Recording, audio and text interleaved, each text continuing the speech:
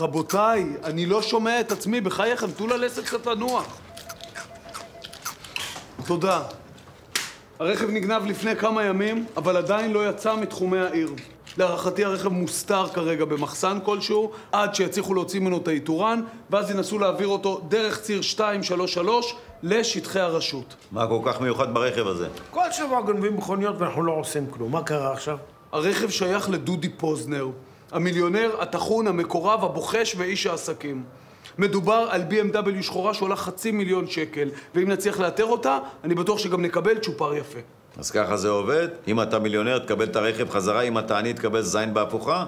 אני לא מתכוון להתייחס לזה אפילו. אני בפנים, מה לו"ז? החל מהיום, כל לילה, נוכחות של ניידת על הציר, שני שוטרים במשמרת. עילעיל ציוותים.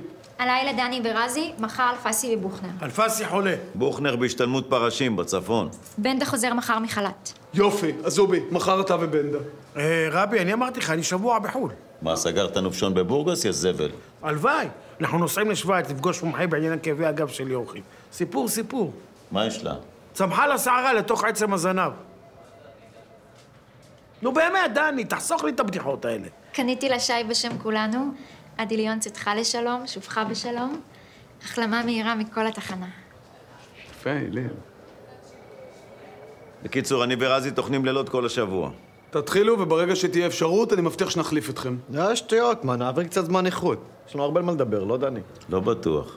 עילעיל, תדאגי להם לפיצות וקולה שלא יירדמו, ולאבא, בלי מקלות גזר וסלרי. הווליום של הירקות האלה בלתי נסבל, פשוט זוועה.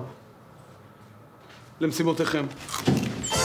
השוטר הטוב, עונה חדשה, חמישי בעשר, ב-yes קומדי וב-yes VOD.